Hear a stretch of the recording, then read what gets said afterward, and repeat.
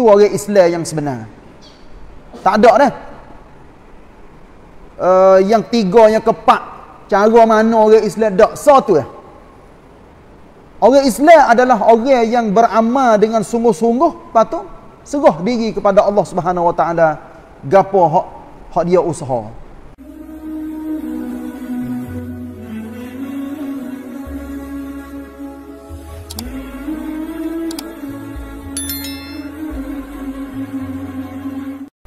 أعوذ بالله من الشيطان الرجيم. وجاهدوا في الله حق جهاده هو اجتباكم وما جعل عليكم في الدين من حرج ملة أبيكم إبراهيم. هو سماكم المسلمين من قبل وفي هذا ليكون الرسول شهيدا عليكم وتكونوا شهداء على الناس فأقيموا الصلاة وآتوا الزكاة واعتصموا بالله هو مولاكم ۖ فنعم المولى ونعم النصير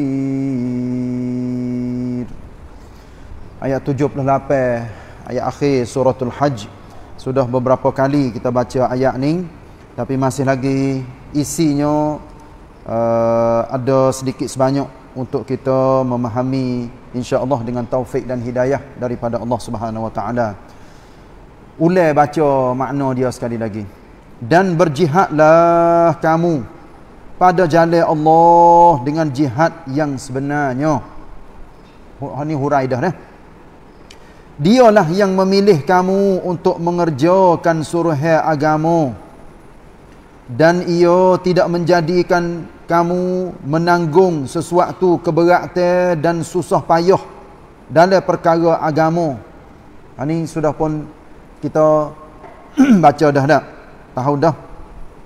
Agama bapak kamu Ibrahim. Iaitunya agama yang dibawa oleh seguguh besar iaitunya yang diketuai oleh Nabi Ibrahim AS sebab anak cucu Nabi Ibrahim ni adalah Allah Ta'ala pilih banyaknya jadi rasul-rasul dan nabi-nabi. Terutamanya rasul dalam kalangan Bani Israel. Ini paling ramah sekali Lepas tu banyaknya bani uh, rasul-rasul Bani Israel ni kena bunuh. Dibunuh oleh kaum dia sendiri.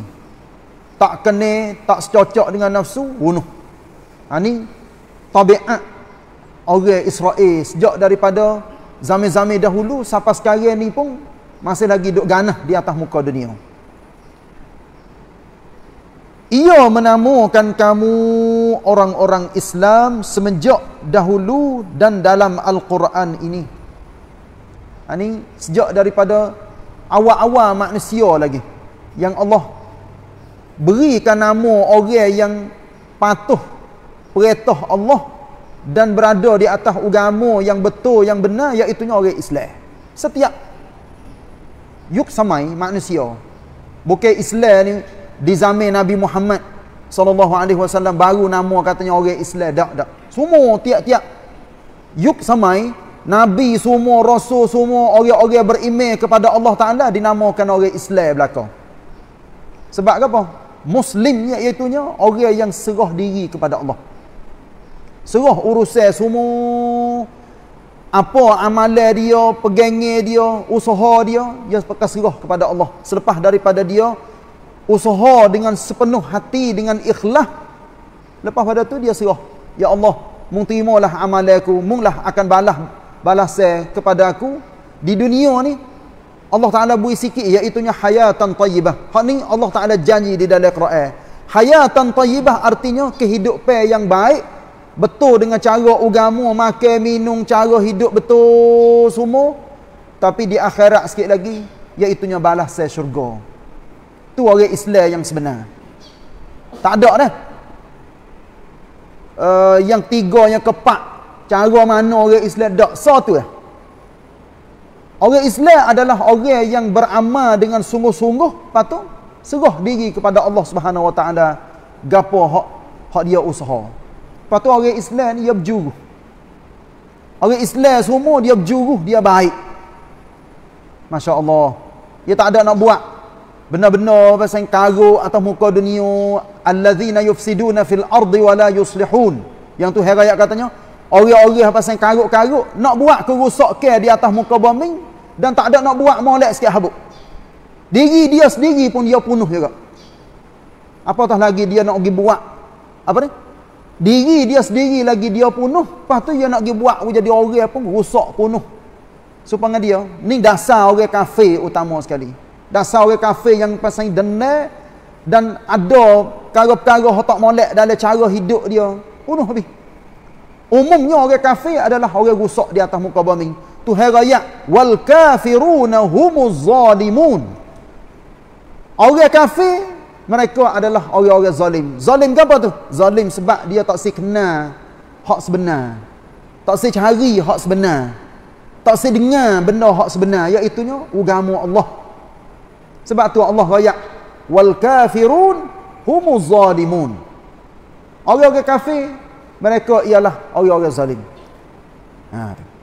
Terutamanya orang-orang syirik. Orang Islam yang syirik. Orang zalim juga. Orang yang campur aduk email dia dengan benda-benda hak tak kena, orang zalim. Nah.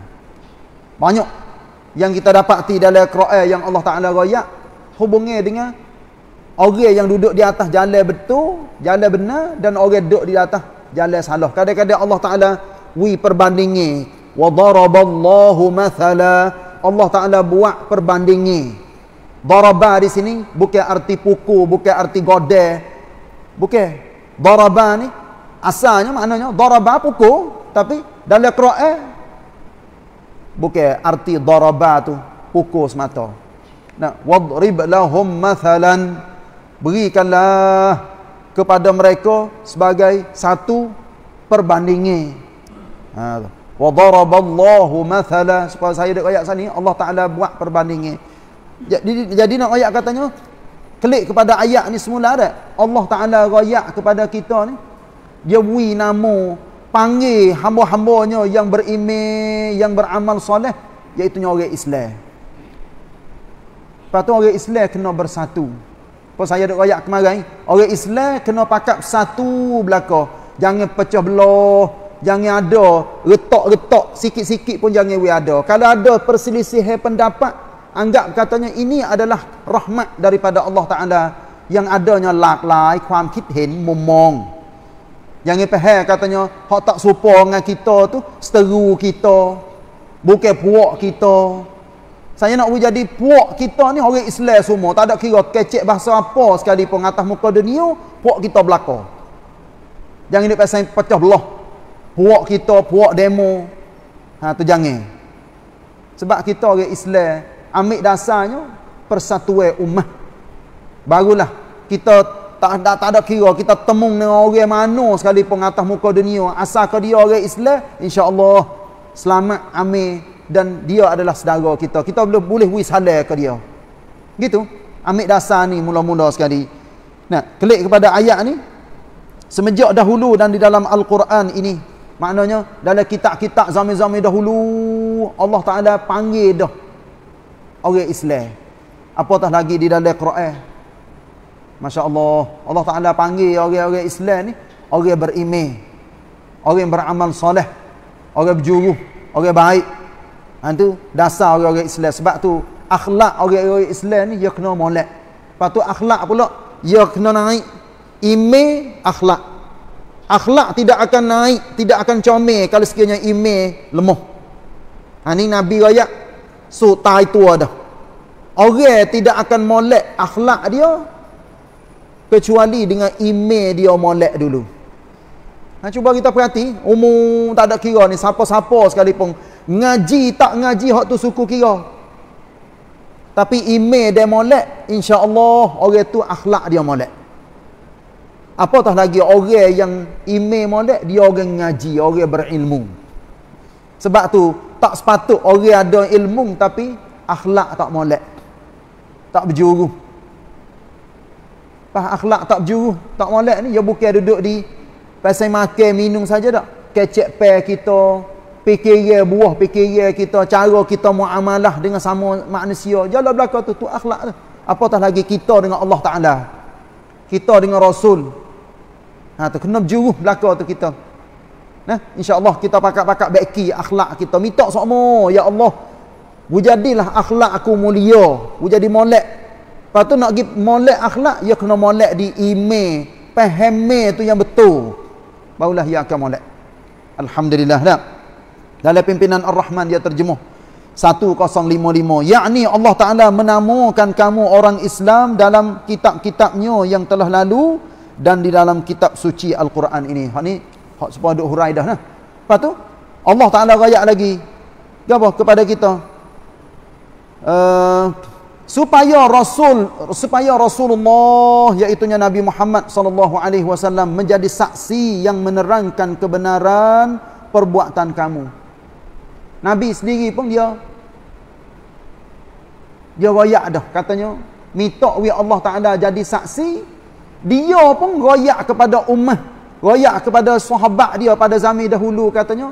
Mung tolong jadi saksi lah katanya. Aku tolong sapa dah ajari aku kepada umat lepas tu tolong-tolong sapa ajari aku kepada orang yang tak mari pada hari ni. Ini ha, Nabi perasai kecek di pada Arafah.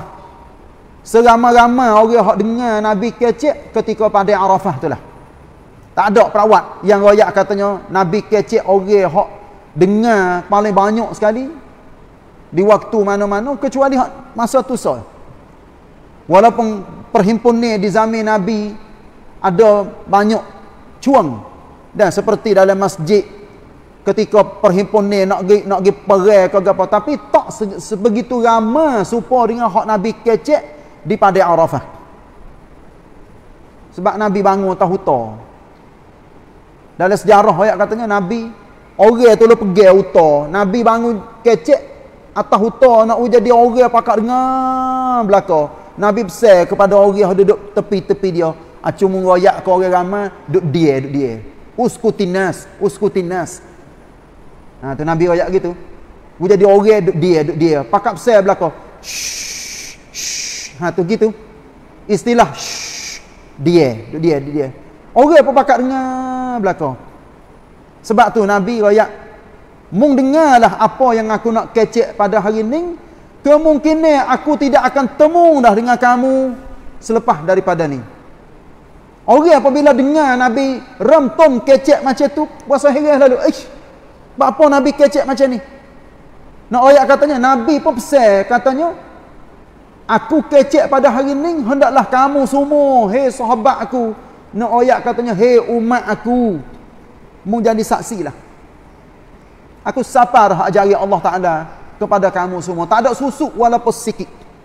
Ni lah yang Allah Ta'ala rayak katanya supaya Rasulullah Muhammad sallallahu alaihi wasallam menjadi saksi yang menerangkan kebenaran perbuatan kamu kita semua pun kena jadi saksi walaupun kita tak ada duduk dalam majlis sekali dengan Nabi tak biasa dengar perkataan Nabi Masya Allah. Nah, tua-tua nah maknanya tak biasa dengar perkataan Nabi masa Nabi duduk depan kita. Tapi ajaran Nabi ni masih lagi duduk jelah. Supaya dia duduk kecek masa dia duduk hidup. Sebab ulama hadis ataupun ulama-ulama sejak daripada sahabat Nabi lagi. Tuk yuk samai, mai duduk hurai, duduk wayak perkataan Nabi, mai duduk ciceng, kau tecing yang sebenar. Supaya apa tu? dan supaya kamu pula layak menjadi orang-orang yang memberi keterangan kepada umat manusia tentang yang benar dan yang salah. Ni dah ni. Orang yang masuk di dalam ayat ni iaitu ulama-ulama. Orang-orang yang reti sunnah Nabi ajaran Al-Quran. Terutamanya orang-orang yang ingat hadis-hadis Nabi ni. Alhamdulillah, saya rayak sikit tak? Zami dahulu hak ni sebagai ilmu tambahan ni. Orang ngapa Quran ni orang tak nama hafiz. Orang ngapa hadis. Ngapa banyak mana tu? Seratus ribu hadis baru nama hafiz. Bukan bukan sepuluh ribu dah, seratus ribu. baru nama hafiz sebab tu dalam kitab ada kulit kitab tu Al-Hafiz Ibn Hajar Al-Asqalani ha tu jala tu Al-Hafiz bukan arti hafiz Quran dak Quran ni sebuah eh. Ayat dia ni ribu ayat lebih eh. tapi hadis Nabi Masya Allah beratus ribu Imam Al-Bukhari ingat saja ni 800 ribu hadis Imam Al-Bukhari Guru dia saja 19 ribu orang. Masya Allah. Jalan pergi cari, cari, cari, cari. Hadis. Perjalanan dia pergi situ, pergi sini. Imam Muslim. Abu Daud, An-Nasai, Ibn Majah, At-Tirmizi. Banyak. Orang ni nak ayat katanya orang-orang zaman dahulu. Ambil ilmu yang geligo-geligo daripada Quran. Mari hurai so, so, so, so, so, so, so, so. Ambil daripada hadis Nabi mai duk hurai nak jadi umat alik belakang ni seni mudah faham gambar katanya ni saya buat bandingnya mudah-mudah orang-orang zaman dahulu cari repoh cari sud. Untuk nak buat sup nak buat nak buat gula nak buat tom yam buat apa tu saya buat bandingnya nak jadi orang alik belakang tu jadi seni lah. Mu tak ada kena cari dah. Aku cari siap dah.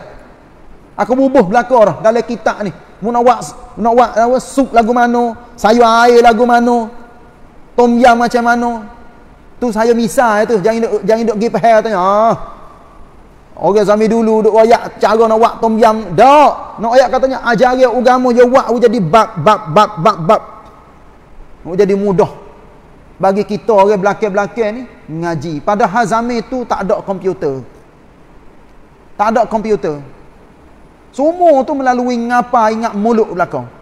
Duduk dalam dada, duduk dalam otak belakang. Cuba kita gambar orang-orang zaman dahulu sejak daripada zaman sahabat yang usaha menyapa, menyapa, menyapa. Pesan ni daripada Nabi, balighu anni walau ayah. Sapakanlah daripada aku ni, ajari aku walaupun seayat. Seayat di sini bukan arti ayat Quran saja dak. Bahkan semua ajaran yang timur daripada Quran dengan hadis sahabat yang pegang amanah ni siapa royak royak royak royak royak royak alhamdulillah sehingga dihimpun dan kitab-kitab buku-buku. Siapa ke kita hari ni? Nak jadi orang belakang ni mudah. Lepas tu duduk di kita. Kita buat soalan katanya lepas tu duduk di kita dah orang wi jadi mudah dah. Kitab-kitab penuh belakang dah. Rajin tak lagi kita. Nak ngaji tak nak usaha dak? Ha tu duduk di kita sendiri dah ha ni sebab itulah Allah Taala royak di sini supaya Nabi SAW menjadi saksi dan kamu semua pun hei umat Islam jadi saksi kepada sekalian umat. Masa habis dah. Ada arah. saya pun duk tangcai hari-hari hari ni duk rasa nak pergi habis ayat ni. Tapi tak habis juga. Dengan sebab masa habis. Dan insyaallah kita sambung semula. Faqimus salata wa atuz zakata wa'tasimu billahi huwa maulakum. Insyaallah kita sambung esok. Nah kalau tengok kepada uh, masa boleh jadi sekian ayat daripada ayat surah uh, apa ni 78 suratul hajj. Insyaallah kita khitam esok. Wallahu alam wa sallallahu ala nabiyyina muhammad wa ala alihi wa sahbihi wasallam wassalamu alaikum warahmatullahi wabarakatuh